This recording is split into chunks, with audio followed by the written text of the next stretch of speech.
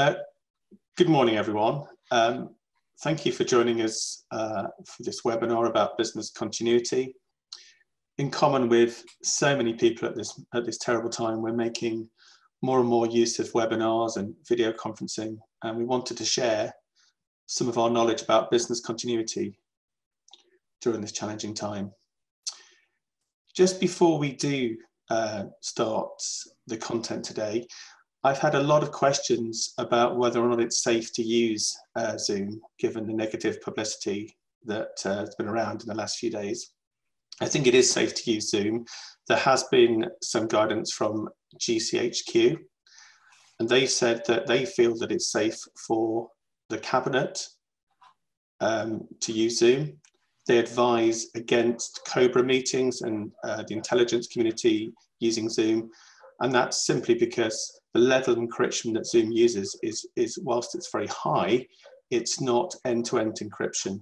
But for the purposes of this webinar and for you using the software to interact with your clients, we think it's perfectly safe. Now, most of this webinar shall be presented by my colleague, Matt, along with my co-director, and Amy and Steve and Mel and other colleagues, Matt's worked extremely hard on writing guidance and producing various documents and templates for our clients.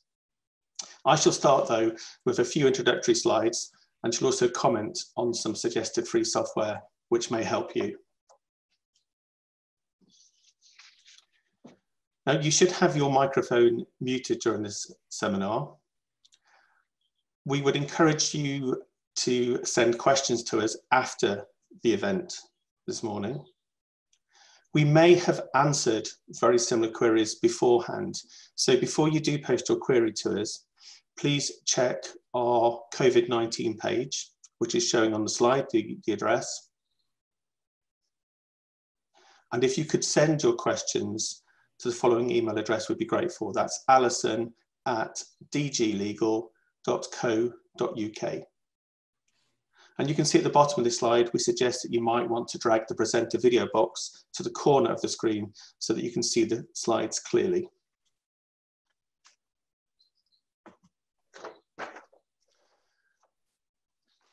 So what we're going to cover today, we're going to look at whether or not um, you should have closed your office.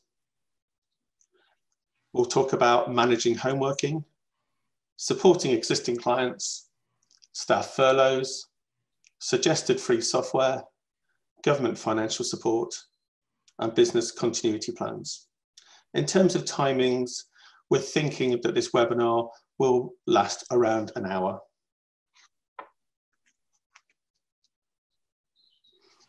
And you can see an example on that slide of one of our uh, templates that we've uh, written and uh, distributed to our clients around about a week ago.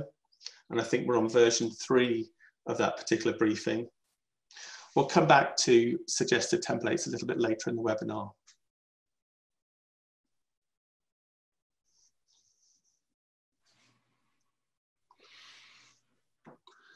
So keeping your business open and your office.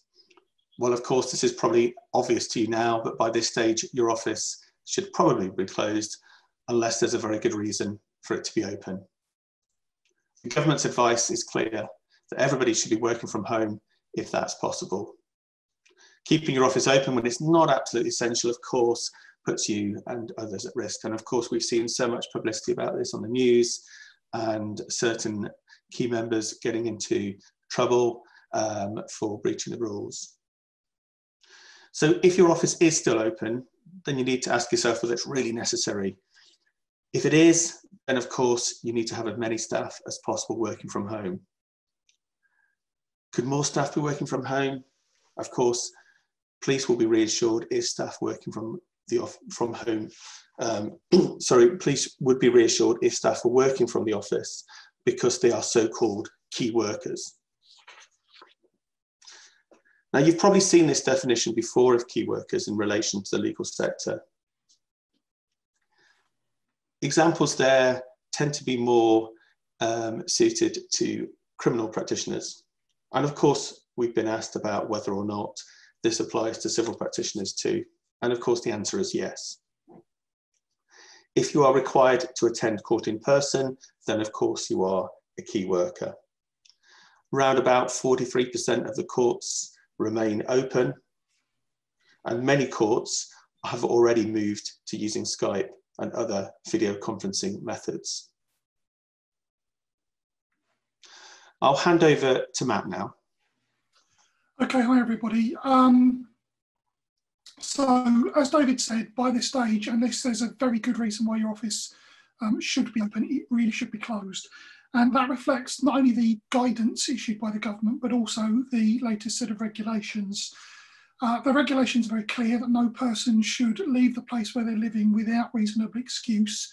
The regulations do give certain reasonable excuses, and one is to travel for the purposes of work where it is not reasonably possible for that person to work or provide those services from the place that they were living. So, as David said, um, certain lawyers will fall into the class of key workers, and um, it may be absolutely essential from time to time for individuals within your firms to either go into the office or to go to courts or other um, other places where you're conducting proper urgent legal business. Um, certainly most of my clients now have their offices generally closed, but they may be popping in for an hour a day, one person popping in for an hour a day to sort the post and to just check on the place and to deal with things. If you have staff going into the office, you might want to think about issuing them with a letter explaining that they are um, required to go into the office purely for the limited purposes of um, checking urgent legal correspondence and scanning and distributing it to others. Obviously, if you can redirect post, then you need to think about doing that, but that may not be entirely possible. I suggest the letter because, as we know, the police are taking a pretty random approach to some of this. And I'm certainly aware of people who've been stopped by the police and asked what their um, excuse for being away from the home is. So you might want to think about those things if you have to keep the office open, and there may be situations where it's absolutely essential to have the office open, if not completely, certainly for periods of time or to see particular clients, and I say all of this needs to be um, properly balancing the risk because, of course, uh, that every time you stop following the government's guidance about home working and opening offices, you're putting yourself, your staff, and other people at risk. So this needs to be balanced. Uh, make sure that insofar as your staff or anybody else needs to use public transport, they avoid any non-essential use. And if they do have to use public transport they travel at times when it's less likely to be crowded. Clearly people in um, key roles including the medical profession will be using uh, public transport at other times. So you don't want to increase the risk to those who do have to travel so again um, whilst it might be convenient somebody to pop in to check the post early, it might be better if they did it a little bit later in the morning. Make sure that if you do have the office open at all, that you ensure you maintain the two metre social distancing rule um, in as far as is possible within the office. If you can get hold of any, then make sure you've got hand sanitizer available to be used in the office. Although I say that fully recognising that it's practically impossible to get hand sanitizer at the moment.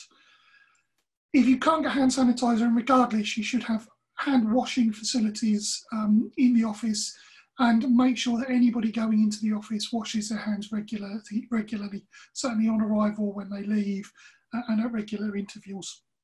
They want to make sure that they're minimising the risk to um, anybody else in the office, whether now or later. If you have to have appointments, they should, where possible, be conducted by phone or by video conference and only conducted face to face where there is no viable alternative and the matter is urgent.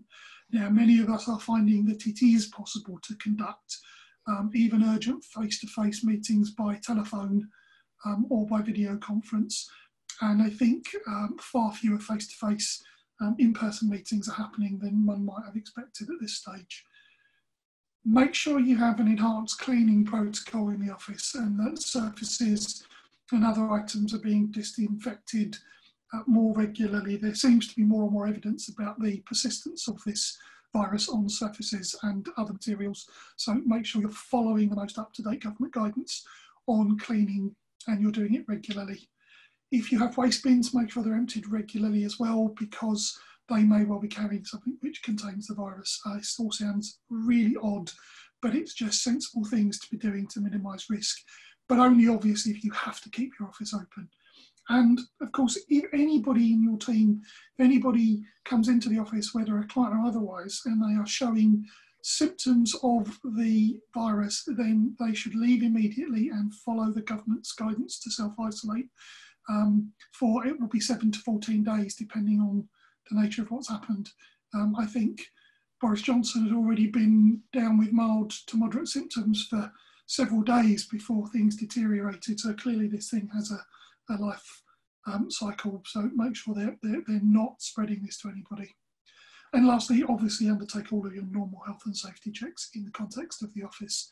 David, did you want to add anything? Uh, not at this point, no. Thanks. Brilliant. So by now, it's likely that many of your staff, um, certainly those who are still working, will be working from home, either exclusively or largely. So we've put down some things that you might want to think about. First and foremost, undertake a home work workplace risk assessment. Um, now, all of you probably reacted to this situation very quickly and closed your offices very quickly. And that meant that you probably didn't undertake risk assessments for each individual staff member and their particular circumstances. But now's the time to do that because you need to make sure that you're managing risk in an appropriate way. And we'll come back to how you can do that in, in a moment. In that context, you absolutely need to think about data security. Both the SRA and the Information Commissioner's offices will be realistic about data security, but they both expect solicitors to think carefully about ensuring that data remains secure even where their staff are working from home.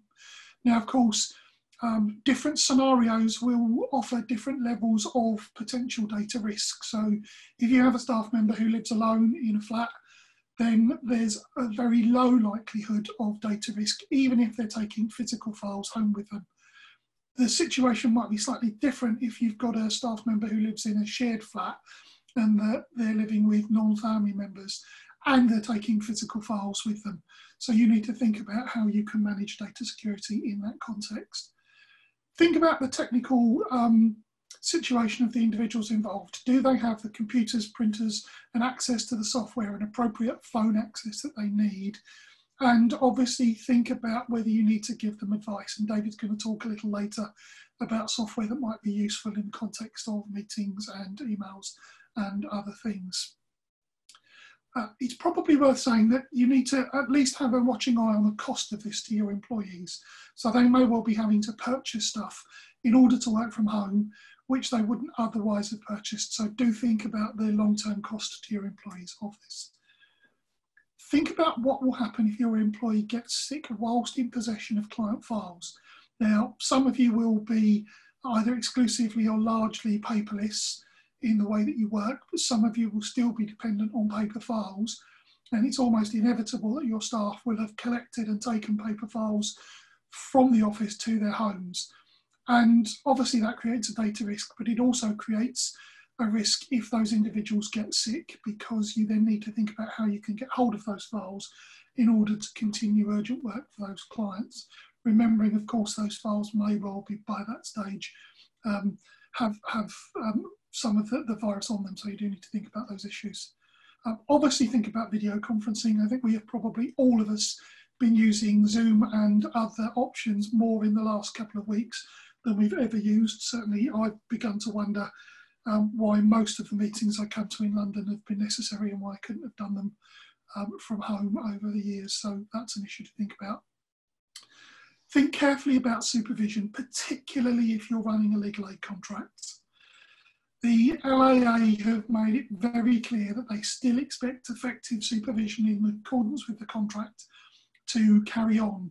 Now, it's far more difficult to deal with effective supervision if you're not in the same office as the personal people that you supervise. And again, if the paper files are in people's homes, then you can't do file reviews in the way that you might do. So you need to think about what you can do in the context of proper supervision to ensure that, and this is a particular issue for more junior staff, the work they're doing is being supervised. Now that may well be more structured, scheduled discussions with them, it might well be that you ask them to send you um, particularly um, critical emails or letters for checking before they send them out in the way that you might not otherwise do. It may be that you ask them to forward you or copy you into certain emails just so that you can look at things. Again, just think about what's appropriate in the circumstances, given the nature of the individual, the nature of the cases, and the complexity of what they're doing. Keep in touch with your staff. Um, I'm already seeing a number of individuals who I'm speaking with on, on a daily basis who are finding this incredibly isolating and difficult to deal with. And so you need to make sure you're keeping in touch with your staff. Remember, if you're in the office, you probably see each other in the corridor, or you'd stick your head around their, their office door, or you'd bump into each other as you're making tea. And none of that stuff is happening. So you need to make a concerted effort to keep in touch with your staff. And lastly, think about billing because um, there's going to be an inevitable detrimental impact on income and cash flow as a result of this situation. And so if your staff are working at home on files, you need to make sure that they're recording their time in the way they ordinarily would do, but you have a process in place in the context of billing. So again, if you're working closely with cost drafting companies, have a chat with them to see what they've got in place to help you keep billing through this period. David, did you have any points to raise? Yeah, just one. Um, there's been a, a, number of a number of firms have been thinking about and worrying about um, the safety of their equipment at work and whether or not they should bring them home. I think it really just depends on your individual scenario and the level of security you've got and uh, um, the, the, safety of your particular area. I don't think there's any need to, to, to panic and remove all uh, PCs and equipment uh, just yet looking at us as, as, a, as an example, um, I've removed one computer which I felt was a little bit vulnerable near an emergency exit. Um, I, I, know that uh, one member of our staff has, has gone into the office before the lockdown to remove a monitor because it's easier using a large monitor than it is a laptop, etc. But I don't think there's any need to uh, particularly if you have an alarm system and CCTV, remove all equipment and, and, and bring that as part of your home working. Thanks, David. And another thing I've been asked previously is, is whether or not um, staff working from home need to have locked cabinets. And, and the answer is yes, in a perfect world, a locked cabinet where they could keep files is the best solution. But that's in a perfect world, and we're not in a perfect world at the moment. So, what you need to do is make sure that whatever solution they come up with to keep information um, confidential is the best and most robust one they can come up with in the circumstances. I think it's probably pretty hard to get hold of lockable filing cabinets at the moment. So that takes us back to the workplace risk assessment. Now, um, DG Legal have produced for each retainer clients a number of um, resources, and those have already been circulated to retainer clients. Amongst them is a home working risk assessment checklist, and this is a checklist that we intend you to use for each individual staff member to ensure that you've gone through the process of considering the particular risk associated with their home working. Now, it's slightly time consuming to do, but it's important that you do it because if something were to go wrong in the context of a data breach relating to documentation or information they held, the Information Commissioner's Office and the SRA would expect you to have gone through some process of evaluating and managing the risk associated with home working. We've also produced, and David's already referred to one of the documents, the guidance document produced, we've also produced a home working and adapted home working policy. David, we've produced a number of other resources as well. Do you want to have a quick mention of some of those? Yeah, so I think what needs to be on practitioners' checklists is consideration of whether any of the following documents um, is applicable. I mean, you've mentioned um, home working policy, home working risk assessment, also catastrophic event plan and event protocol. Um, of course, we've mentioned that we've produced guidance on business continuity. Also, template wording to say that you're still open for business, so you might want to have a detailed notice on your website.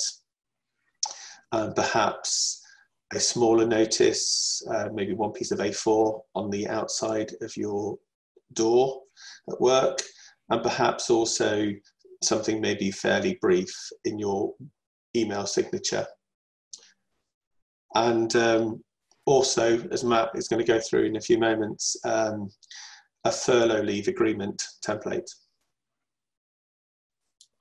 Brilliant, thank you, David.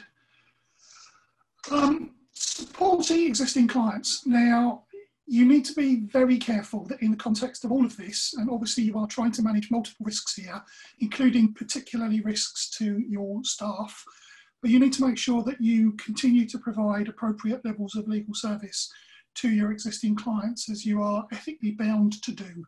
Um, there is guidance on both the Law Society and the SRA websites, which reminds us of our regulatory and ethical obligations to clients, and therefore we need to think through what we're doing to support existing clients.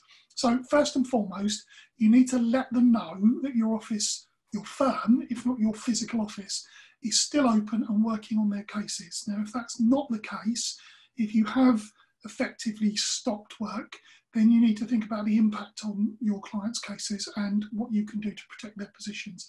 But first of all, let them know. Some of them will be very worried about this. Let them know about the impact of court closures or other adjournments or the move to online or video hearings. Um, a number of clients will have been expecting matters to have been resolved in hearings over the next several weeks, and those hearings either may not take place at all or may take place in a very different way to the way they'd anticipated. So you need to think very carefully about how you manage their expectations. Certainly, some of my family law clients have had very difficult conversations with clients who'd expected certain situations in relation to childcare to be resolved, and those things are not likely to be resolved in the timescale they'd anticipated. So again, keep your clients up to date in terms of what's happening to their cases. Let them know how they can contact you. The way they contact you may have changed, and you might need to manage their expectation. So instead of a, a, a principal number with a reception, they might now have to contact you by email or by um, individual mobile phone numbers with their, with their, their, their lawyers. So make sure they know how to contact you. Let them know how they can get documents to you if needed. Now, of course, you want to discourage them from dropping stuff to the office um, or posting stuff to the office because that requires somebody to go in and collect it and scan it and circulate it, uh, and also puts the clients at risk as they do those things. So, insofar as you can, you might need to help them understand how they could photograph or scan and email documents to you if needed. Um, there are particular issues in relation to electronic signing of legal aid documents, but we'll come to that in a moment, um, certainly at least to mention. Sure, you can keep on top of their cases, including monitoring key dates and, and other limitations. And of course, make sure you're on top of the compliance issues around your cases. Those of you who are DG Legal retainer clients will probably already be using a compliance caddy, which is a, a central online um, resource for all of your compliance and supervision needs. So that's an incredibly useful tool at the moment. Have a backup plan in case a staff member dealing with that case gets sick. Now, you may well be in a position where you've furloughed some staff, and I'll come to that in a moment, uh, and where you've got a limited um, or skeleton staff team looking after the cases that are going through, but you have to be prepared if one or more of those individuals get sick and can't work on the cases. So you need to think about how you manage that situation. If you're doing legal aid work, the LAA are issuing um, fairly regular updates on their position in the context of both civil and criminal legal aid. The latest version, unless I've done another one this morning that I didn't notice, was published very late on um, on Friday. It's dated Friday, but um, it certainly wasn't on their website when I finished work on Friday. So it obviously went up at some point. Um, and that deals with their expectations. Um, bluntly, it's very poorly drafted. It's difficult to understand. And I think there's a better version that we helped um, LAPG draft on their website and LAPG update that as appropriate. And the LAPG version gives a lot more detail about things like electronic signatures on legal aid documentation. David, did you want to add anything at this stage? No, thanks. So um, let's talk a bit about the government job retention scheme, which is the uh, staff furloughing. It's probably fair to say that we ran this webinar first um, a week or so ago, and of all of the questions that came in during that webinar, the vast majority related to this scheme.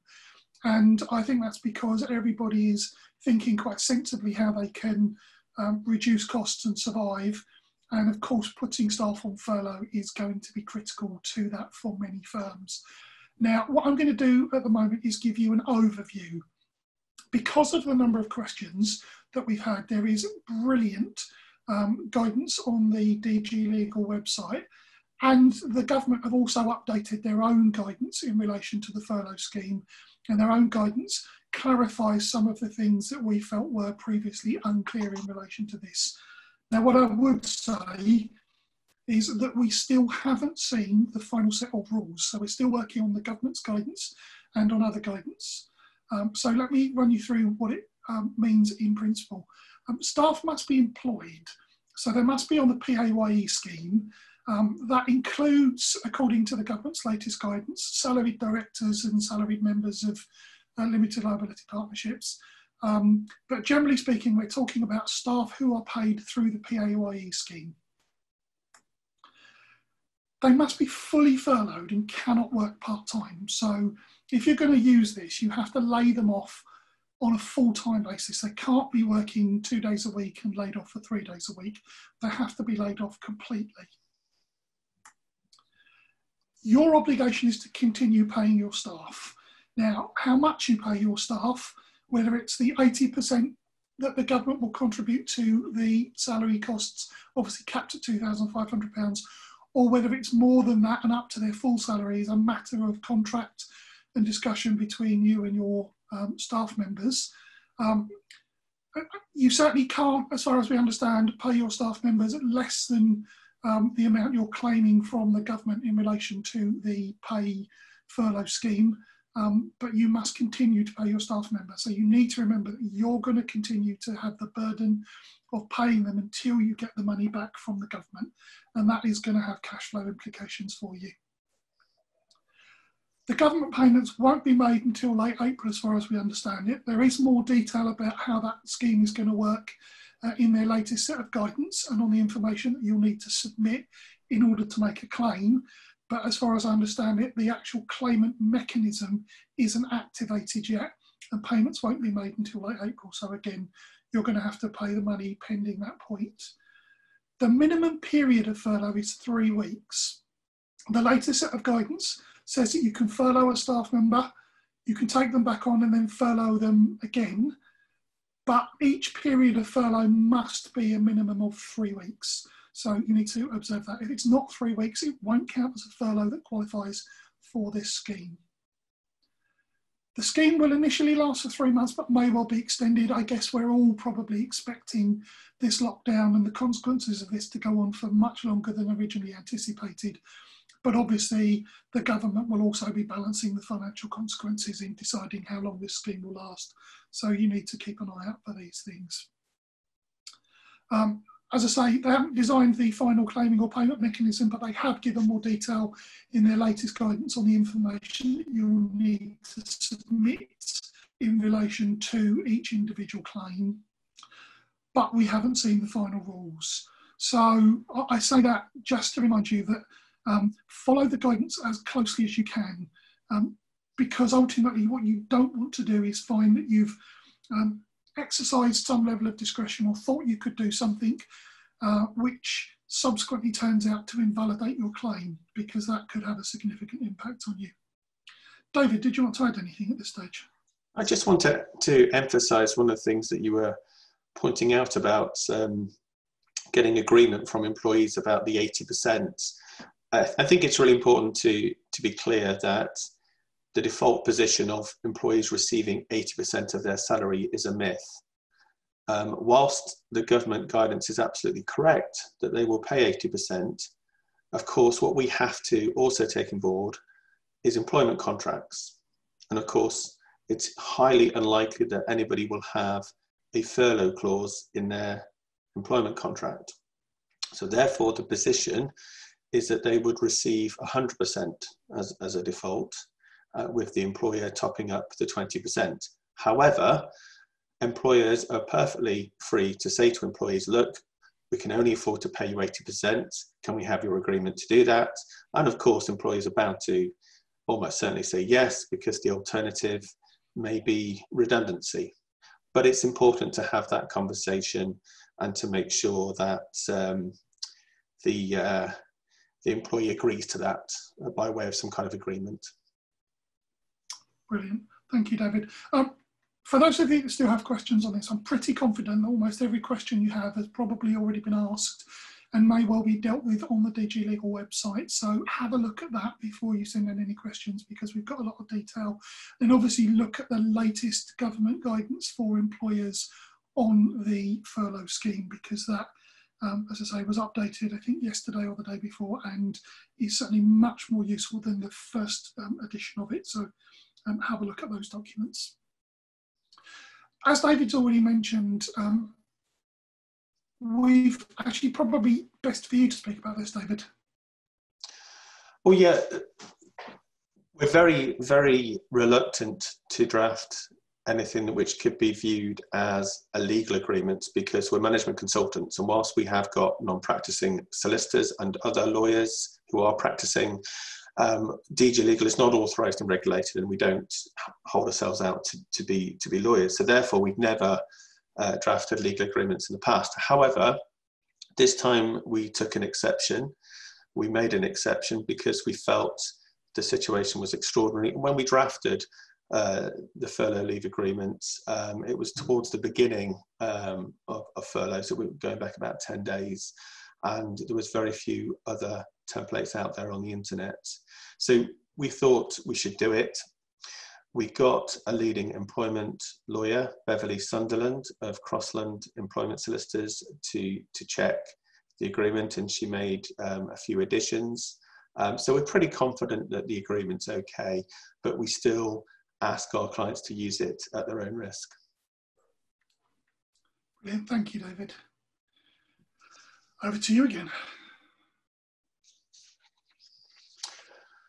Okay. Um, software, we thought it'd be useful to share what software and other services we've been using whilst working from home, which have been working really well for us and, and also for, for some of our clients.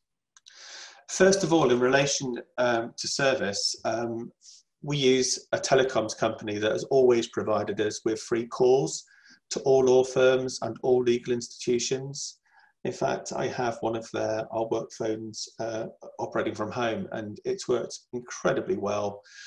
We moved to this company um, for both calls and landlines. Um, sorry, both calls and hardware. As, as, a result of a problem we had with a different telecoms company who were quoting us um, six to eight weeks to move floor in our office, whereas this company uh, called Legal TX um, enabled our move to happen in 24 hours. So if you want to know more about this company, um, just let me know and uh, I'll introduce you to them. They're a very, very good company.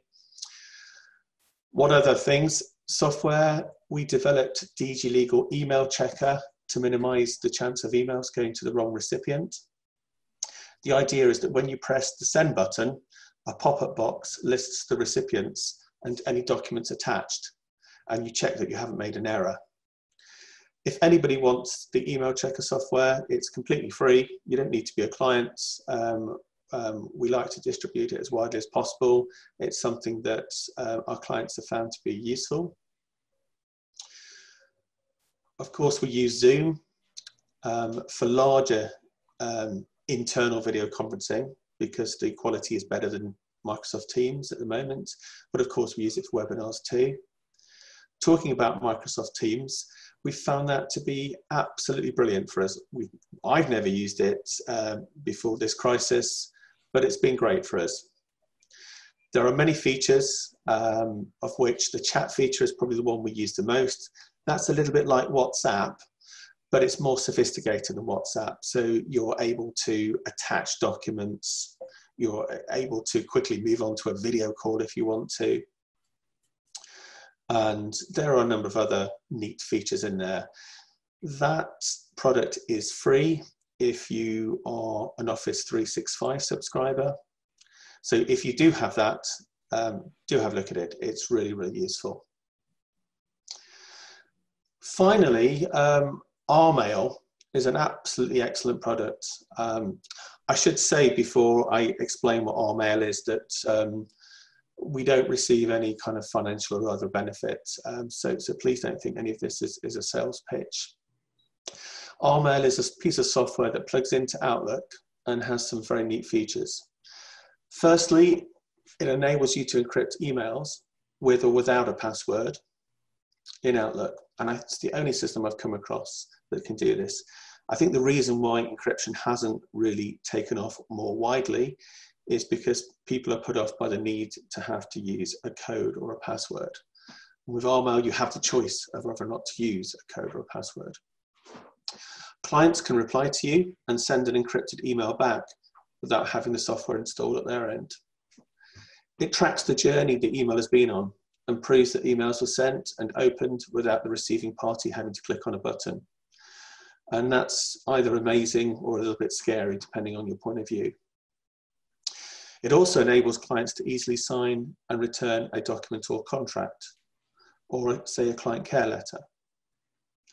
When sending an email, you can use a side note to tell a colleague something you don't want the client to see. That might be particularly important, say, if the client uh, was particularly aggressive. Can also transfer huge files of up to one gigabyte. Usually when using Outlook, your limit is between 10 and 20 megabytes. There was a case in the Employment Tribunal last year where initially the claim was deemed to be out of time because um, the size of the documents attached to the email exceeded the amount, or I should, I should say the size of the documents allowed by the Employment Tribunal's servers. So using this technology would enable you to, to have as big as files as you want attached to your email. And finally, it comes with fraudulent email detection technology. So if an email comes from a party who is different to that uh, listed in the from box, then it will alert you. And you perhaps should also consider whether or not uh, your software provider is offering any kind of discounts. So for instance, uh, a piece of crime software called Bullseye is currently offering use of their crime app free of charge.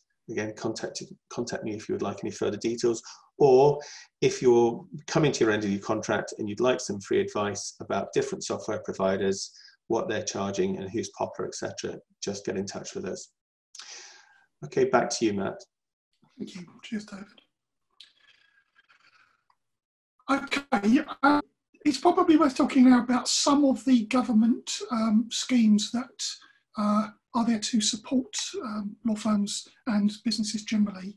Uh, it's worth mentioning initially the Legal Aid Agency, um, and it, it, would be fair to say that to date the Legal Aid Agency um, haven't necessarily done as much as we would like.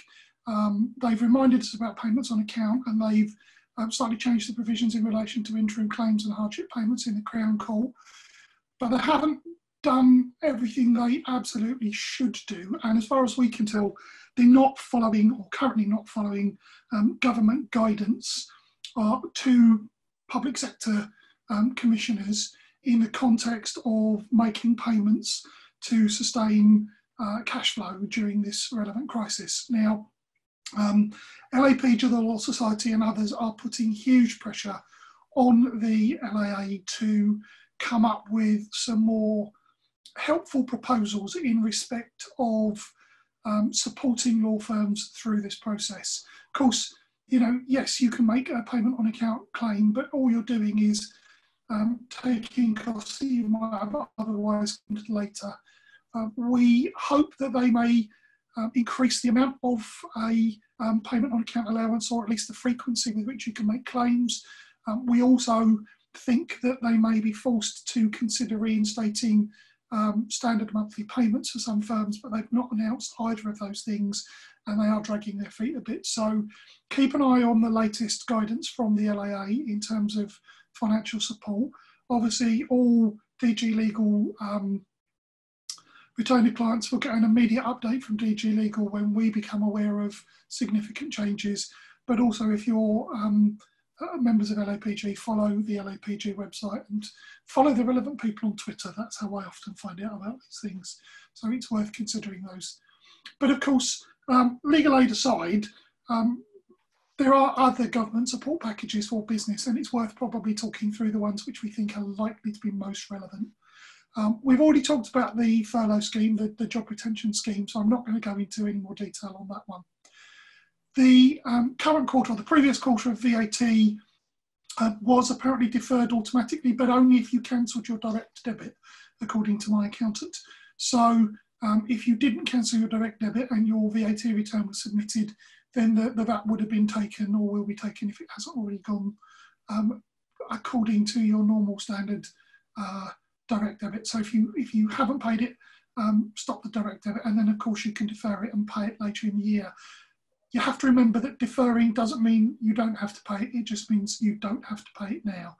And if the government renew this for another quarter, that just means putting off your VAT payments further down the line. And of course, if there's a an adverse impact on your income and cash flow as a result of a lack of new clients now, then you need to factor that into your planning. There is a small business grant scheme, um, which was a, a, grant for those businesses receiving small business rates relief. Um, as we understand it, it is being administered by local authorities and um, theoretically, the local authorities should be getting in touch with all businesses registered with them for small business rates relief and telling them how to join up with the scheme. David, you mentioned that you'd seen some issues around local authorities on this one. Yeah, absolutely. So, whilst the government say that um, small businesses will receive the grant automatically, that isn't necessarily quite uh, true. For instance, our local authority, we're in, we're in Loughborough, and our local authority is Charnwood. Charnwood uh, are saying that you have to complete a form, the electronic form on their website, and then the, the, grants will be issued on a first come, first served basis. And what's quite worrying for us is that we only found out because um, our accountants knew. So within a day of it being announced, um, um, we were able certainly to um, to, to complete the form, and get it on the website. So you should check with your local authority if you're a small firm and uh, you're eligible for the 10k grant, how your local authority is administering the scheme. Thank you, David. Government backed loans. Now, um, you will have all seen that the government's had to change its position a little bit on these over the last uh, week or so because there were a large number of inquiries and very tiny take up. And that's not surprising, really, because although these loans are backed by the government, the reality is they're still lent on general commercial terms by the commercial lender that you go to. Um, and so, for the purposes of, of preparing for this webinar, I approached my bank, which is one of the 40 approved lenders, and I asked them what the process was. And bluntly, they wanted all of the same information that they would ordinarily want for a commercial loan, plus a bit more. So they wanted my last couple of years' accounts, they wanted my um, financial accounts for this year, they wanted my business plan, they wanted a detailed statement of the impact of COVID 19 on my business. And um, although the loan is, is backed by the government in that they will guarantee the first 80% of the loan plus make the interest payments for the first 12 months, um, ultimately you remain liable to repay the loan at whatever the prevailing interest rate is uh, set by your bank. The only good news is if you borrow less than £250,000, the bank can't seek personal guarantees from the directors of the business. But again, if you're looking at this as an option and you may have to, um, you do need to think about the fact that you've got to repay it and you may well see a drop in income down the line as, as a result of diminished client numbers over the next few weeks. So again, think about the impact of taking a loan on your future business. Um, self-employed, if you're self-employed, then there is a similar scheme to the government furlough scheme, but the government have made clear two things. One, the payments won't be sorted for the self-employed until after they've resolved the issue for employees. And secondly, um, for those of you that are running your own personal service or other companies, um, you will end up probably paying more tax down the line to pay for this. Um, the, the other thing which is always available is asking for time to pay. Now, again, you may just be delaying the inevitable or deferring things, but it might help you with cash flow in the short term, particularly pending the receipt of money from the government in the context of the furlough scheme. So go to the um, HMRC and to your other creditors and ask for time to pay for things, um, and then you can pay at some point in the future. Lastly, there is um, protection from eviction for commercial properties, but that doesn't mean that you don't still have to pay your rent. And if you fall into significant arrears, it doesn't mean that at some point in the future your landlord may not be able to take steps to evict you. So the protection is for now, not forever, and you need to think about that. David, did you want to add anything? Well, just just the point about um, paying rent is um, when I've had conversations about about rent and business continuity, which I know you're coming on to, uh, I've been surprised by the fact that um, practitioners have been quite shy about asking for uh, rent reductions um, or perhaps uh, rent holidays, etc. Obviously, it's a very difficult conversation to have, but if you're struggling, it's one of the things that you absolutely have to to think about. Yes, and, and actually you may get a better win. I've certainly had some clients think about asking for temporary rent reductions um, rather than rent holidays because obviously um, it's better to have a, a, lower rent for, or might be better depending on financial circumstances, to have a lower rent for a period than to uh, effectively be building another debt for the future. But it's definitely worth having those conversations, awkward or not, the, the time to have them is now. So, business continuity planning. Um, this is something that uh, is worth considering because, as somebody pointed out to me, uh, off of the back of some training I'd done for them, I taught them how to do a business continuity plan, but not quite for the apocalypse. Now, I don't think this is necessarily the apocalypse, but I guess the point they were making is that when they were thinking about their business continuity plan, they were thinking about maybe a flood in their building or a power outage or some kind of IT dilemma that stopped them accessing things for a couple of days. They weren't assuming the wholesale closure of their offices and the transition for many weeks of all of their staff to home working, as well as laying off a number of their staff on the furlough scheme. So I think the issue here is many of us probably would not have anticipated um, the current situation or anything like it in the context of our business continuity planning. And of course, we're all learning that perhaps we should have done. Um, so what you do need to think about is a number of obvious and practical things. How you can cope financially if this situation um, continues and continues for longer than anticipated, as it probably looks as if it will do. So you need to make sure that you are doing financial forecasting. Now, I would say, as an absolute minimum, you should be doing an 18 month to 24 month cash flow forecast in order to understand the likely impact of this on your business because you may well be postponing payments, but you might also be looking at reduced income. Remember, if you take on a legal aid client today, you're not likely to get paid for the work you do over the next several months until um, either you can make a payment on account application or until you can make a claim for final payment. So the impact of uh, a lack of clients today may not be felt in terms of income for several months, and you need to be able to forecast that and understand what that's telling you. Not least because you'll need it if you want to get a bank loan or if you want to come to sensible arrangements with some of those to whom you owe money. Think about where you're getting your clients from. If your office is closed, it may be closed for longer than you anticipate. So you need to make sure that you're, if you're open for business, you're still offering business in a way that your clients understand, and that may well be by telephone or by email or by video conference. So this isn't an opportunity to stop your marketing. You might need to change your marketing and think about where your clients are coming from, because as I say, you still need their money or the money that you get for legal aid from them um, when this is all over. Are you fully using social media and advertising resources available to you?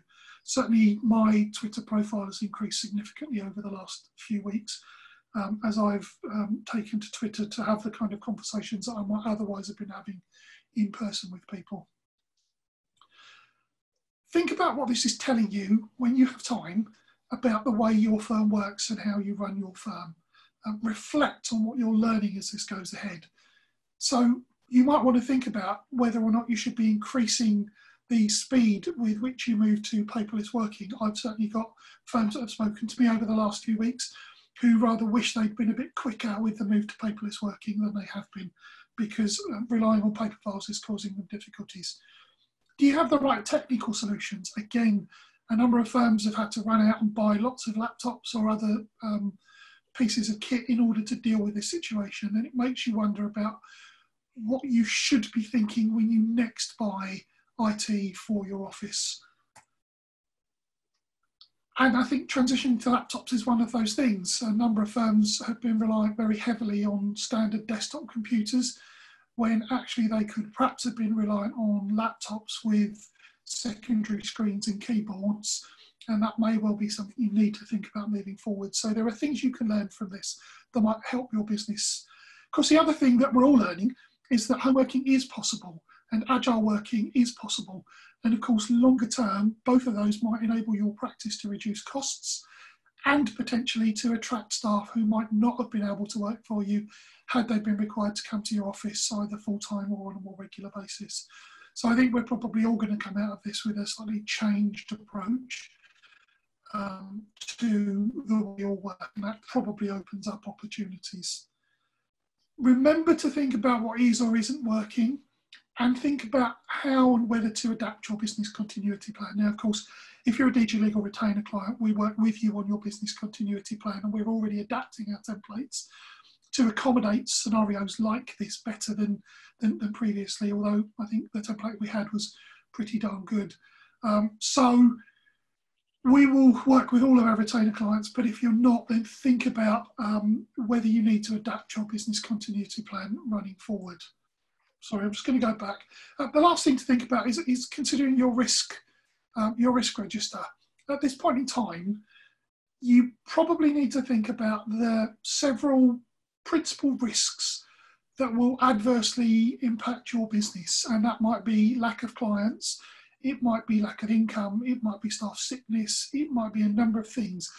But if you're not already thinking about it, identify your principal risks and think about how you are managing and mitigating those risks um, should they materialise during this period. Again, you don't need to go into uh, minute detail because you'll probably find there's only half a dozen, eight things that are absolutely critical to your firm. But if you've got an eye on them and if you're watching them, and if you've got a plan for dealing with them if they come into, um, if they materialise, then you're going to be better placed than being caught out by these things. David, anything you wanted to add? Yeah, um, just just just a couple of things really. Um, firstly, just thinking about um, other um, other webinars, things that uh, people that have impressed us, etc. I'd encourage you to have a look at um, Crossland Solicitors website. Um, they've been also doing a lot of good Q and A stuff with COVID nineteen, and they're very good at uh, employment law. Likewise, if anybody listening has any suggestions that they'd like to share in terms of things that they've come across which have been particularly helpful, please um, let us know by email and uh, we'll, we'll circulate that. The other thing I wanted to mention is um, other, other webinars that we are currently working on. So for instance, we have pretty much finished producing uh, a webinar covering the SRA's uh, transparency rules. We did a survey last month and we found that 53 out of 54 firms that we surveyed were not following the transparency rules.